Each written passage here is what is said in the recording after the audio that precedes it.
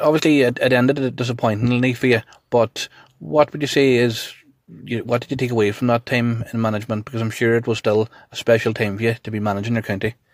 Oh yeah, definitely. It was a, it was a good honour. It was a great honour at the time to be to be managing uh, the Donegal team. Uh, you know, looking back on it, it was a hard time to be managing Donegal because, you know, I, I remember clearly. You know, there was there was issues in the there was issues within the squad and the general supporters would have known that there was issues that from a point of view of discipline and that that would have needed to be you know what have needed to be addressed. And supposed to go into that job and to do it honestly and do it to the best of your ability you're going to have to face them issues head on you know which which I'm glad to say we did. And uh suppose that brings about its own set of circumstances you know but I'm just uh, it was it was two years that, that I'd done the job and obviously um, there came great success after after that yeah. after that, which was absolutely delighted to see because the lads really had, had, had knuckled down and there was a good set of uh, there was a great set of players there at the time and uh, there was a very young Michael Murphy coming up uh, during my reign and he was going to be a, a, very you know a great leader which he went on to prove that he was. So yeah it was great to be part of that. It was great to be part of that era.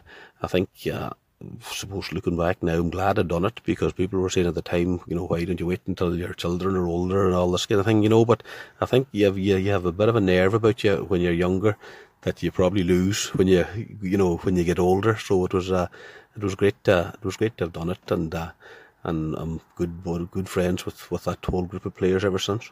Yeah, well, that's that's good, John Joe, that you took that away from it. And as I say, it wasn't an easy time for you, and I'm sure there's a lot of players that I've even heard uh, admitting afterwards that the, they wouldn't have been, you know, the, Donegal would have done a, probably uh, things that they could have done a lot better in, in the years leading up to the, you know, the years before Jim McGuinness in terms of discipline and that. And it wouldn't have been an easy challenge for you, but you, you definitely, you know, you, you, you're a man that would have been definitely respected within that group, I'm sure. Uh, Ah, well, I would, I would think it was, yeah, and I would say it was, it was two way thing, you know.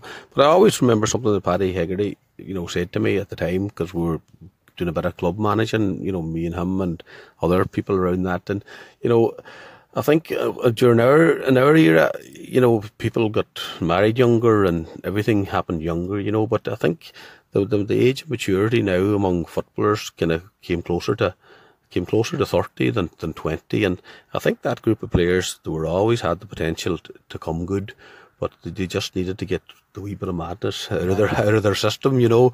So uh, I think by the time Jim Jim came along and, and he showed them, they bought into his plan and kind of maturity wise, they were ready to to go and to really really give it a go. And as we said, it was it was great to see it, and uh, you know they brought great enjoyment to, to the sporters of the county there for for a number yeah. of years.